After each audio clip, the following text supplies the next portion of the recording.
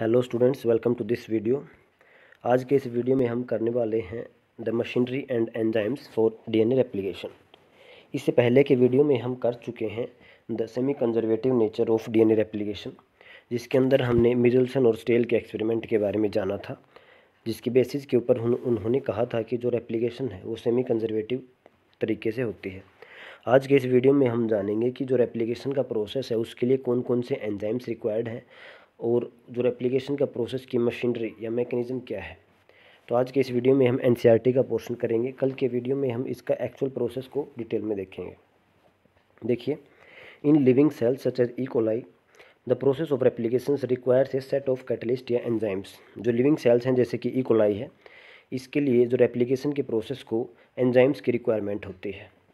The main enzyme is referred as DNA dependent DNA polymerase जो main जो enzyme है replication का, वो है DNA dependent DNA polymerase DNA dependent क्यों कहा गया है? क्योंकि ये जो पेरेंटल डीएनए है, उसके रेस्पेक्ट में ही नए स्ट्रैंड की फॉर्मेशन करता है। तो ये किसके ऊपर ये डिपेंड है? तो डीएनए के ऊपर डिपेंड है पेरेंटल डीएनए के ऊपर। उसी का टेम्पलेट स्ट्रैंड यूज़ करके ये नए स्ट्रैंड की सिंथेसिस करवाता है पोलिमराइजेशन करवाता है। देखो लिखा हुआ है since it uses DNA template to catalyse the polymerisation of deoxy nucleotides जो डीऑक्सी न्यूक्लियोटाइड्स हैं, जो उसकी पोलिमराइजेशन मतलब उसको एक नए स्ट्रैंड के अंदर ऐड करवाता है मतलब न्यू स्ट्रैंड बनाता है, किसके रेस्पेक्ट में? जो पेरेंटल डीएनए टेम्पलेट होता है, उसके रेस्पेक्ट में। इसीलिए इसको कहा गया है DNA dependent DNA polymerase these enzymes are highly efficient enzymes so they have to catalyse the polymerisation of a large number of nucleotides in very short time इनकी एफिशिएंसी जो होती है वो बहुत ज़्यादा होती है क्योंकि इनको थोड़े समय में बहुत ज़्यादा न्यूक्लियोटाइड्स की पोलिमराइजेशन करवानी होती है। पोलिमराइजेशन मतलब पोली न्यूक्लियोटाइड्स बनते हैं। बहुत सारे न्यूक्लियोटाइड्स को ऐड करवाता है और फिर एक डीएनए का स्ट्रैंड बनाता है पूरा। एग्ज़ाम्पल दिया गया है E coli that has only four point six into ten this to power six base pair as compared to humans that has diploid has six point six into ten this to power nine base pair ये हम study कर रहे हैं शुरू में ई e coli में तो ई e coli के अंदर four point six into ten this six base pair है, जिसको हम कंपेयर कर सकते हैं ह्यूमंस के केस में जो कि six point six into ten this nine base pair है। तो जो ई e कोलाई के केस में completes the process of replication within eighteen minutes that means the average rate of polymerisation to be approximately two thousand base pair per second तो ये E coli का आपको दिखाया गया है, जिसके अंदर बताया गया है कि टोटल जो जीनोम है, उसके अंदर four point six into ten this to power six base pair हैं। और ये जो टोटल प्रोसेस है, वो एटीन मिनट्स के अंदर हो जाता है रेप्लीकेशन का। अगर हम कैलकुलेट करें तो approximately two thousand base pair per second वो ऐड कर रहा है एंजाइम तो इस एंजाइम की क्योंकि स्पीड बहुत ज़्यादा है एफिशिएंसी भी इसकी ज़्यादा होनी चाहिए। ऐसा नहीं है कि स्पीड ज़्यादा है तो ये कहीं इनकरेक्ट बेस पेयर को ऐड करवा दे। देखो लिखा हुआ है not only to these polymerase have to be fast but they also have to catalyse the reaction with high degree of accuracy fast भी होना चाहिए और उसकी एक्यूरेसी भी ज़्यादा होनी चाहिए। Any mistake during replication would result into mutation कोई भी जो मिस्टेक अगर हो गई, कहीं गलत न्यूक्लियोटाइड ऐड हो गया तो उससे क्या हो जाएगा? आगे म्यूटेशन होगी। म्यूटेशंस के कारण डिज़ीज़ हो सकती हैं, वो लिथल भी हो सकती हैं। हो सकता है कि म्यूटेशन का कोई इफ़ेक्ट ना हो। और हो सकता है कि वो हार्मफुल म्यूटेशन भी हो जाए। म्यूटेशन होती क्या है? तो कोई भी चेंज इन डीएनए जो सडन चेंज जो डीएनए के अंदर हो जाता है alteration in the DNA sequence तो उसको म्यूटेशन कह रहे हैं। उसके, किसके कारण हो रहा है? तो डीएनए रेप्लिकेशन के अंदर अगर एरर आ जाता है तो उसके कारण ये म्यूटेशंस आ सकते हैं। Furthermore energetically replication is very expensively मतलब रेप्लिकेशन को होने के लिए बहुत ज़्यादा एनर्जी चाहिए।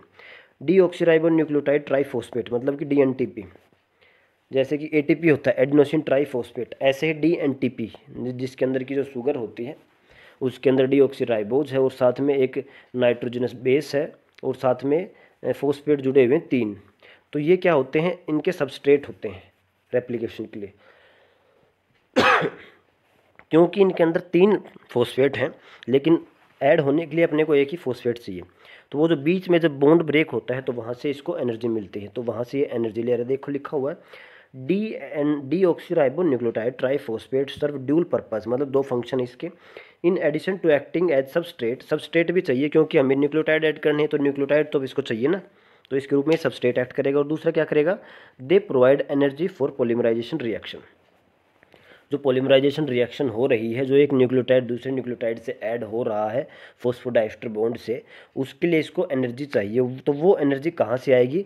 जब ये डी एन टी पी है ट्राईफोस्फेट है, लेकिन फोस्फेट तो एक ही ऐड होगा न्यूक्लियोटाइड के अंदर तो वो जो दो फोस्फेट है और एक फोस्फेट है, इसके बीच का जो बॉन्ड ब्रेक होता है, देखो मान लो जैसे ये तीन फोस्फेट ऐड है, लेकिन अपने को रिक्वायर्ड चाहिए एक तो ये वाला बॉन्ड ब्रेक होगा और ये फोस्फेट अलग हो जाएँगे। तो ये जो बॉन्ड ब्रेक हुआ, इसके कारण एनर्जी निकलती है और इसी एनर्जी का यूज़ करता है ये एंजाइम अब देखो in addition to DNA dependent DNA polymerase इसके साथ साथ many additional enzymes are required to complete the process of replication DNA dependent DNA polymerase क्या है? मेन रेप्लिकेटिंग एंजाइम है। इसी ये क्या करवाएगा? पॉलीमराइजेशन करवाएगा। जो नए न्यूक्लियोटाइड्स आएँगे, उनको ऐड करवा के एक नया स्ट्रैंड बनवाएगा टेम्पलेट के रेस्पेक्ट में। लेकिन इसके साथ साथ इसको क्या चाहिए? और भी एंजाइम्स चाहिए। देखो for long DNA molecule since the two strands of the DNA can not separated into its entire length क्योंकि डीएनए मॉलिक्यूल बहुत बड़ा है तो उसको हम पूरे डीएनए मॉलिक्यूल को एक साथ दोनों स्ट्रैंड्स को सेपरेट नहीं कर सकते। उसकी पूरी लेंथ को एक साथ सेपरेट नहीं कर सकते। The replication requires within a small opening of D N A helix referred as replication fork मतलब देखो ये कोई डी एन ए मोलिक्यूल है मान लो तो इसमें अब ये थोड़े से पोर्शन में ही ये ओपनिंग होती है। तो ये जिस पोर्शन में डी डीएनए ओपन हुआ है, उसको हम कह देंगे रेप्लीकेशन फोर्क आपका एक डायग्राम भी दिया हुआ है, अगले पेज के ऊपर आप देखेंगे तो। तो ये है आपका रेप्लीकेशन फोर्क इसमें ये वाला जो पोर्शन है, ये ओपन हो चुका है। इसके मतलब ये वाला स्ट्रैंड ये जो ब्लू कलर में है, ये है पेरेंटल स्ट्रैंड तो पेरेंटल स्ट्रैंड्स यहाँ पे सेपरेट हो चुके हैं। और यहाँ से जो नए स्ट्रैंड बनने स्टार्ट हो चुके हैं। तो ये जिस एरिया में थोड़ा सा एरिया जिसके अंदर के डीएनए ओपन हो चुका है, उसको हमने कह दिया replication fork DNA dependent DNA polymerase catalyse polymerisation only in one direction ये बहुत इंपॉर्टेंट चीज़ है कि ये जो एंजाइम है डीएनए डिपेंडेंट डीएनए पोलिमरेज ये जो पोलिमराइजेशन है मतलब नया डीएनए ऐड करने का जो प्रोसेस है, वो एक ही डायरेक्शन में कर सकता है। That is five to three direction हमने पढ़ा है डीएनए के बारे में कि भाई five dash to three dash होता है three dash to five dash होता है। लेकिन जो नया डीएनए बनता है, उसकी जो डायरेक्शन ऑफ़ सिंथेसिस होती है, वो five dash to three dash ही होती है। देखिए, जैसे इस डायग्राम में दिखाया गया है आपको। जैसे कि ये स्ट्रैंड है आपका थ्री डैश पेरेंटल में, और वो वाल रहेगा फाइव डैश तो जो नया डीएनए बनेगा, जो थ्री डैश के नीचे आपको पता है डीएन डीएनए जो होता है वो एंटी पैरेलल होते हैं। तो मतलब एक अगर पेरेंटल में है थ्री डैश तो नीचे जो नया बनेगा, उसके सामने फाइव डैश होना चाहिए। तो यहाँ से जो फाइव प्राइम जो बनना स्टार्ट हो गया, ये वाला तो फाइव से थ्री डायरेक्शन में ही बनेगा हमेशा। इस साइड भी देख लो, ये है फाइव ये है आपका फाइव डैश एंड और ये है आपका थ्री डैश एंड तो फाइव जो थ्री डैश है, वहीं से बनना स्टार्ट होगा। तो ये फाइव से थ्री एक ये बन गया। फिर ये फाइव से थ्री बन गया फाइव से थ्री बन गया। तो ये क्या हो गया इसी रेस्पेक्ट में क्या होता है? जो डीएनए रेप्लिकेशन होती है, वो एक स्टैंड में तो कंटिन्यूस होती है। मतलब ये जो फाइव से थ्री कंटिन्यूस बनता जाएगा, लेकिन दूसरे स्टैंड में क्या होते हैं? डिसकंटिन्यूस होती है five to three five to three देखो, ये फाइव हो गया, फिर ये थ्री हो गया, फिर ये फाइव हो गया, फिर ये थ्री हो गया, फिर ये फाइव फिर ये थ्री तो मतलब डिसकंटिन्यूस मैनर में चलती है आपकी रेप्लीकेशन पेरेंटल स्ट्रैंड के एक में, और दूसरे में चलती है आपकी कंटिन्यूस तो याद रखना है, जो फाइव टू थ्री होता है पेरेंटल उसके अंदर जो नया स्ट्रैंड बनेगा, उसके अंदर होगी कंटिन्यूस और जो three dash to five dash जो पेरेंटल है, उसके अंदर जो नया डीएनए बनेगा, उसके अंदर होते डिसकंटिन्यूस डीएनए रेप्लीकेशन देखो द रेप्लीकेशन इज़ कंटिन्यूस ये लिखा हुआ है this create some additional complication at replication fork one strand the template with polarity three to five dash. The replication is continuous with the other strand, जिसकी polarity क्या है? Five to three है। वो क्या होता है? डिसकंटिन्यूस में होता है। ये आपको डायग्राम से अच्छे से समझ में आएगा। जब हम क्लास में इस टॉपिक को करेंगे तो अच्छे से डिटेल में करेंगे। The discontinuous synthesised segment is later joined by DNA ligase. तो ये एक एंजाइम आ गया आपका, डीएनए लाइगेज। देखिए पहले। क्योंकि जो नया डीएनए है वो फाइव से थ्री में ही बनेगा, उसकी कंडीशन है, जो एंजाइम है पोलिमरेज वो फाइव से थ्री में इसको ऐड करेगा। तो इस साइड देखते हैं, ये तो सही है फाइव टू थ्री ये आगे और खुलता जाएगा और ये कंटिन्यू बढ़ता जाएगा। लेकिन यहाँ देखिए आप, क्योंकि अगर रेप्लीकेशन यहाँ स्टार्ट होती है, इस वाले एंजाइम अगर यहाँ से स्टार्ट करेगा तो यहाँ पे है थ्री डैश लेकिन वो एंजाइम थ्री डैश पे स्टार्ट नहीं कर सकता तो वो फाइव डैश से ही स्टार्ट करेगा, इस साइड से स्टार्ट करेगा। तो ठीक है, अभी फाइव से थ्री ये यहाँ तक आ गया। अब क्या होगा, ये आगे खुलेगा तो ऐसे ही वो भी एक पीछे जाएगा, फिर ये आएगा ये आएगा तो यहाँ से क्या होगी जो स्ट्रैंड है वो डिसकंटिन्यूस तरीके से बनेंगे और बीच में एक गैप आ जाएगा। तो उस गैप को फिल करेगा, आपका एक एंजाइम आता है, बाद में डीएनए लाइगेज तो इसको भी याद रखना है डीएनए लाइगेज को। वो क्या करता है, जो डिसकंटिन्यूस ट्रेंड होता है पेरेंटल यानी कि जिसकी पोलरिटी फाइव टू थ्री है जो डिसकंटिन्यूस ट्रेंड है, उसको जब वो कम्प्लीटली सिंथेसाइज हो जाते हैं तो सारे डिस्क जो छोटे छोटे स्ट्रैंड्स हैं, जिनको हम कहेंगे ओकाजाकी फ्रेगमेंट्स जो डीएनए के फ्रेगमेंट्स जो नया पेरेंटल बन गया फाइव टू थ्री में, उसके जो फ्रेगमेंट्स के फॉर्म में बनता है डीएनए कंटिन्यूस स्ट्रैंड नहीं बनता। तो उन फ्रेगमेंट्स को ज्वाइनिंग करने का काम बनेगा आपका डीएनए लाइगेज का। आगे देखिए the DNA polymerase on their own can not initiate the process of replication ये भी है। कि जो डीएनए पोलिमरेज है, जो आपका मेन जो एंजाइम है डीएनए डिपेंडेंट डीएनए पोलिमरेज वो रेप्लिकेशन को इनिशिएट नहीं कर सकता है। Also the replication does not initiate randomly at any place in the DNA अब मान लो कि ये कोई डीएनए सीक्वेंस है। अब इसमें ऐसा नहीं है कि रेप्लीकेशन यहाँ भी स्टार्ट हो सकती है, यहाँ भी हो सकती है, यहाँ भी हो सकती है, नहीं।